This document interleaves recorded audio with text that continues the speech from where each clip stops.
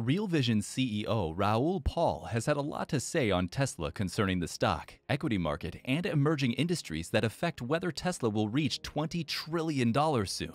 Last year, Tesla, the leading electric vehicle brand, made a total of $53.8 billion in sales. With so many new developments and expansion projects, this year is shaping up nicely for the brand. However, the current state of the economy is tumultuous at best. Would Tesla be able to replicate these results and even surpass them? Will the positive market sentiment they've managed to achieve continue? Keep watching to find out. Raoul Pal is an investment strategist, economist, and former hedge fund manager. He was one of the few investors who currently predicted the 2008 2009 mortgage crisis, along with Michael Burry, a famous Tesla bear. Raoul Pal has always been interested in investing. But his rise to the top began with his role as head of European hedge fund sales in Goldman Sachs Stocks and Equity Derivatives division. Pal is most well known in the financial realm, but he also has a strong internet presence, courtesy of the Real Vision financial analysis streaming network he co-founded. Upon reflection, he mentioned Tesla's admission into the S&P, saying that he believes Tesla will fall after inclusion because practically all buying has already taken place. He acknowledged that it's usual for stock to drop for a long time after being included, but added that this is Tesla, so who knows what could happen. And Tesla stock certainly did drop. For several months since the beginning of the year, there was a prolonged decline in the stock price, and many assumed the game was over for the electric vehicle brand.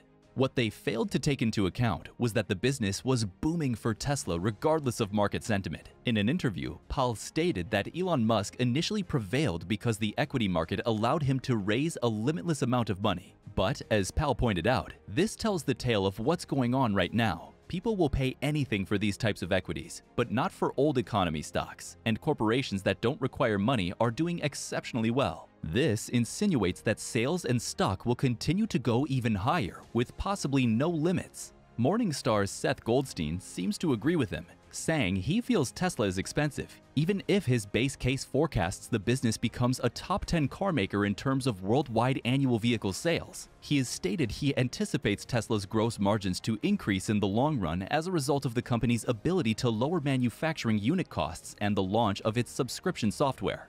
It wasn't easy for Tesla to turn a profit in the first years, and recently, with the current macroeconomic state, can Tesla continue to reach the groundbreaking numbers like the days of old? The business announced the third quarter of 2021 to be a record time in several ways in a report accompanying the results. It added, We achieved our best ever net income, operating profit, and gross profit. We also achieved an operating margin of 14.6%, exceeding our medium-term projection of a low teens operating margin. Tesla also noted that profitability was achieved despite the average selling price falling 6% year over year in the third quarter, owing to a move toward lower-priced vehicles. Pal has said he's far more excited about emerging markets than commodities. He says commodity cycles will be less pronounced in a technology-driven world with an aging population, and he's quite right. The coming decade will be defined by emerging market domination, and Tesla is already doing great on that score and is currently focused on expanding the business. According to Wedbush analyst Daniel Ives, Tesla's recently opened Gigafactory in Germany is a significant milestone for the firm, as it will allow the company to produce another half million vehicles a year. In a note to clients, Wedbush's Ives said, we continue to feel that Tesla's stock has been substantially oversold over the previous few months, along with the risk-off sentiment among tech investors. However, the street has begun to comprehend what pivotal launch of Giga Berlin implies for the Tesla supply store in 2022 and beyond over the past week. Tesla will be able to significantly increase production in Europe with the opening of the Gigafactory in Germany, while also lowering the cost of importing cars from its Shanghai factory. Later this month, Tesla will begin shipping vehicles from its Gigafactory in Texas. All Tesla vehicles sold in the United States are produced at the company's Fremont factory in California, which has the capacity of 500,000 electric vehicles per year. Once fully operational, Gigafactory Texas is planned to more than double this output, but that will be a few years away. Housing prices in the area of Tesla's planned Gigafactory in Austin are rising as the company prepares to relocate its corporate headquarters to Texas. According to Redfin, some prices in Travis County, Texas, where the plant will be built, were up 53.7% year over year in September, selling for a median price of $363,000. When compared to the rest of Austin, this is higher than 26%. Tesla has delivered its all-electric pickup truck to its new headquarters, according to a recent film captured at Gigafactory Texas. The Cybertruck's arrival at the Giga Texas location coincides in the release of the new photographs of the vehicle's alpha prototype on the internet. Thanks to the Austin factory, Musk believes Tesla will be a true mass producer of electric vehicles by the end of the year. With these developments, more and more investors are getting interested in the brand and buying into the stock, but with the company's latest announcements, this number might double.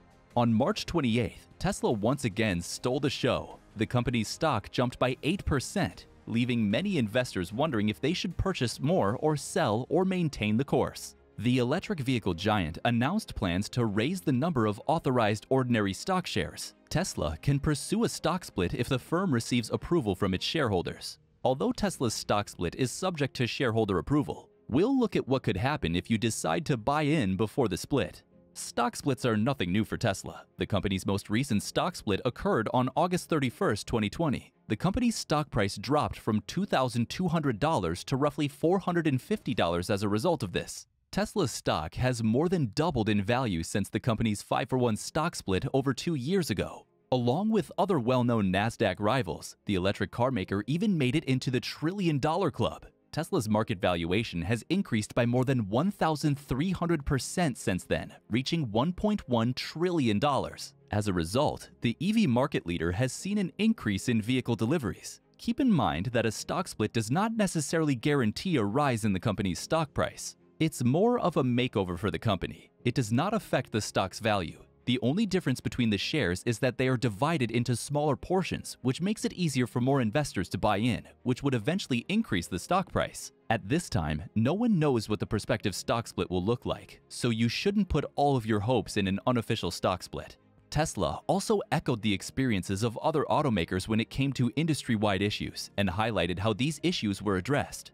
A number of issues, including semiconductor shortages, port congestion, and rolling blackouts, have hampered our ability to maintain plants functioning at full capacity, the company noted. In the meantime, what do analysts think of Tesla's long-term prospects? The company has an underweight recommendation from JP Morgan analyst Ryan Brinkman, with a price objective of $250 by December 2022. He said in a recent note that the grade took into account advantages such as a very unique business model, an appealing product selection, and cutting-edge technology. He described the company's products as bold, unusual, exquisite, and immensely exciting to drive. The organization is driven by visionary leadership and supported by a functionally strong management team. However, Brinkman raised certain issues that have an impact on how much he thinks the company is worth. While both technological and execution risk appears to be far lower than previously anticipated, he wrote, growth into higher volume areas with lower price points appears to be laden with increased risk in terms of demand, execution, and competition.